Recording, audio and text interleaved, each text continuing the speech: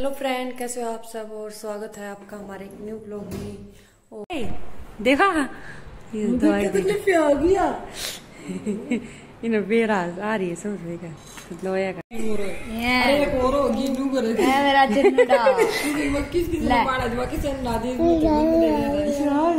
ला ला ला ला। तो हेलो दोस्तों ये देव मेरा भतीजा आपने पहले वाले व्लॉग में भी देखा होगा।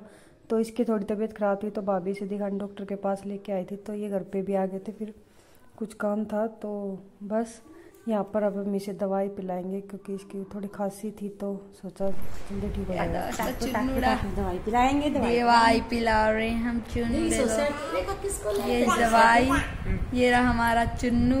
पी लेगा ये रही। और ये हम इसे ये दवाई पिला दी। हाँ इतने खिड़वा दिया दोस्तों पिलाते ही पिलाई जा रही दवाई ये रोने लग गया ये दवाई है हो है तू दोस्तों भी चुन्नू चुप हो रहा है अभी पहुँच ही गए हैं ऊपर और भाई मौसम बिल्कुल कच्चोड़ा बिल्कुल। ऐसा बिल्कुल बादल बादल हो रहा है गाइस सकते हो। और यहाँ पर बस ट्रीज ट्रीज है।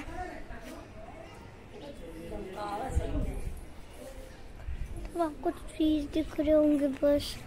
देखोगे ना दूर दूर तक ट्रीज हैं।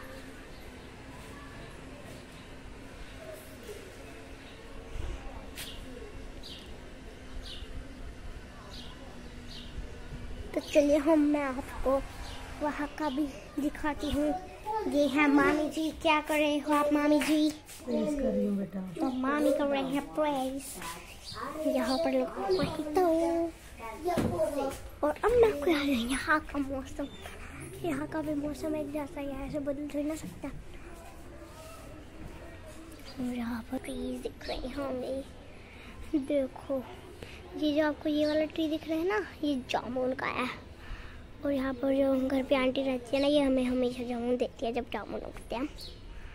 और यहाँ पर भी देख रहे हो ट्रीज ही ट्रीज अरे मैंने जूम कर ऐसे दिख रहा कि यहाँ पर ही है। अब मैं आपको दिखाती हूँ कहाँ पर है। यहाँ पर मैं वो वाला दिखाती हूँ आपको। ये वाला मुझे लगता है नीम का पेड़ है। और मौसम बिल्कुल अच्छा अच्छा हो रहा है। और ये है हमारा ऊपर चढ़ने का। देख। सकते हैं। आप आप, मुझे भी देख लीजिए आज मैं कौन सी ड्रेस पहनी हुई हूँ। देख सकते हैं आप, मुझे। ये है यहाँ पर कूलर यहाँ पर हमारे प्लांट्स प्लांट्स प्लांट्स तो हम चलते हैं अंदर वापिस।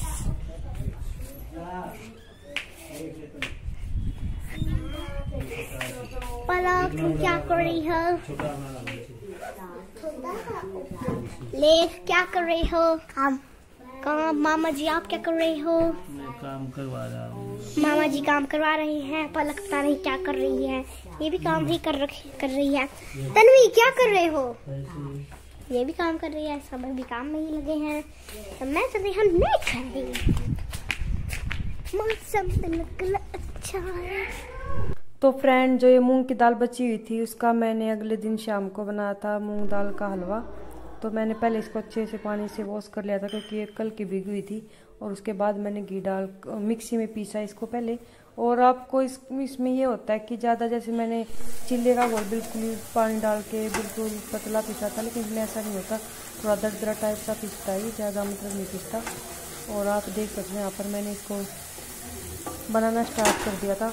और जब आप स्टार्टिंग में डालोगे, दाल के घी में तो ये ऐसे इकट्ठी होती है। लेकिन जैसे जैसे पकती जाएगी तो ये अपने आप अलग हो जाएगी। बिल्कुल मतलब खिली खिली सी। आपको समझ आ जाएगा कि हाँ भाई, कि ये पक गई है। और ये इसमें टाइम लगता है थोड़ा सा ये नहीं है कि जैसे हम सूजी का आटे का हलवा बनाते तो जल्दी पक जाता है लेकिन इसमें टाइम लगता है। आप देख सकते हैं, बिल्कुल खिली खिली सी हो गई है। और जब इसमें इसका बिल्कुल इसका रंग भी बिल्कुल चेंज हो जाएगा। और यहाँ पर मैंने डाल दिया दूध, क्योंकि इसका ये अच्छे से पक गई थी और अब दूध डालने में थोड़ी थोड़ी देर इसको पकाना है। और उसके बाद हम डालेंगे इसमें चीनी, जिस भी, जितना भी आप टेस्ट के अनुसार जैसे भी डालना चाहो वैसे डाल सकते हो चीनी। अगर आप मीठा ज़्यादा खाते तो थोड़ी सी ज़्यादा डाल लेना या कम खाते तो उसी हिसाब से डाल सकते हो। और यहाँ पर मैंने इसमें थोड़ा सा बाद में घी भी डाला था। और अभी आप देखोगे तो इसका जो हलवे का कलर वो बिल्कुल वाइट वाइट सा लेकिन ऐसा नहीं था। अब जैसे चीनी डालेंगे और इसको पकाएँगे तो हलवे का कलर बिल्कुल चेंज हो जाएगा। जैसे हम सूजी वगैरह बनाते तो चीनी डालते और फिर पक जाता तो उसको उतारते ऐसा नहीं इसमें इसको जब तक पकाना है, जब तक मतलब इसमें से घी अलग ना हो जाए, आपको पता चल जाएगा। जैसे अभी तो बिल्कुल इकट्ठा और घी दिख भी नहीं रहा है ऐसे तो उसमें से घी बिल्कुल अलग हो जाएगा। इसमें थोड़ा टाइम लगता है और इसको ज़्यादा तेज़ आँच पे भी नहीं पकाना होता, थोड़ा सा मीडियम पे पकाना होता है, क्योंकि ज़्यादा तेज़ आँच पकाएँगे तो ये जल्दी जलने का डर होता है या फिर वैसे। और आप देख और आप देख सकते हैं हलवा जितना देखने में चाहता उतना ही खाने में भी अच्छा था। अगर आप भी चाहे तो बना और कुछ भी बनाओ तो बर्तन इकट्ठे हो जाते हैं। आप देख सकते हैं यहाँ पर पूरी किचन फैली पड़ी है। क्योंकि अगर रोटी सब्ज़ी बनाओ तो इतना नहीं होता लेकिन अगर कुछ एक चीज़ भी एक्स्ट्रा बनाने की कोशिश कर लो तो बस पूरी किचन फैल जाती है। और आज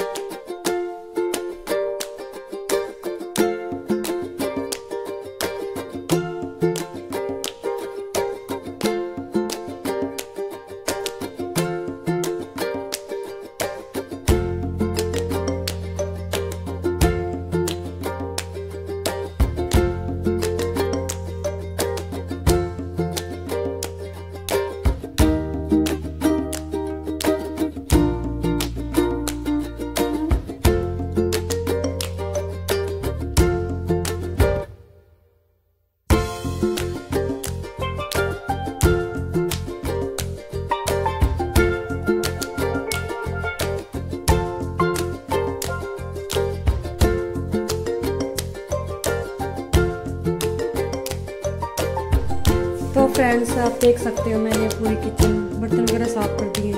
वैसे तो मैं कभी कभार अगर इमरजेंसी में ज़्यादा रात हो जाए तो बेसकी का बर्तन छूट जाता। वरना मैं कोशिश करती हूँ कि सारे बर्तन को शाम को मान मान के रख दूँ, साफ़ करके। क्योंकि क्या जाता है कि बर्तन को जूठा जूठा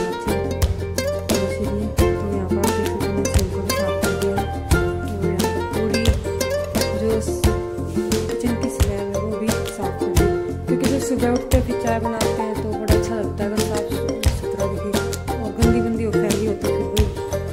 सुबह से अच्छा नहीं लगता तो यहाँ पर मैंने पूरी किचन साफ़ कर दी और अभी बस मैंने उसको दवाई दी है। और ये भी किया भी थक चुकी है, शाम तक थक जाती है, क्योंकि अगर दिन में सो जाती है तो फिर तो ठीक है।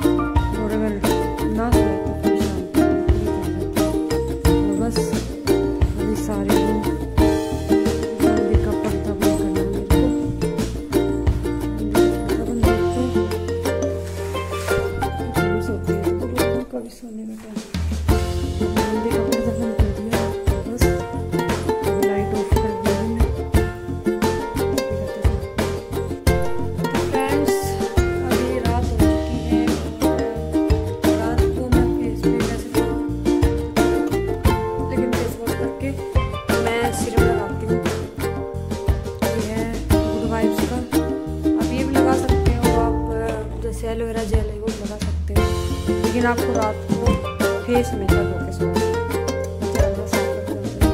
पूरा दिन जो डस्ट वगैरह होता है तो इससे पिंपल वगैरह नहीं आते जल्दी से। अगर किसी को पिंपल वगैरह की ज़्यादा प्रॉब्लम तो नहीं तो बिल्कुल ही रात को चेहरा साफ़ करके सोना चाहिए। तो thank you guys for watching this blog अगर आपको ये ब्लॉग पसंद आए तो वीडियो को लाइक करना चैनल को सब्सक्राइब ज़रूर करना और कमेंट करना और बताना कि आपको वीडियो कैसी लगती है। तो मिलते हैं अगले व्लॉग में. बाय